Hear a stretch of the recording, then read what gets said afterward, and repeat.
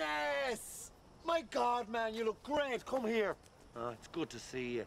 Tulip, Dennis, Dennis, Tulip. C'est pas Dennis, c'est Denis. Qu'est-ce que tu veux maintenant? Tu veux toujours quelque chose, hein? Le temps que c'est rien, ça va être différent cette fois-ci. Après, tu, tu rentres chez moi, tu tournes mon appartement en sous à cochon, tu manges toute ma bouffe et tu fais la fête toute la nuit. Et elles sont où tes autres prostituées? Je suis trop vieux pour ça, tout le monde. Do you speak French?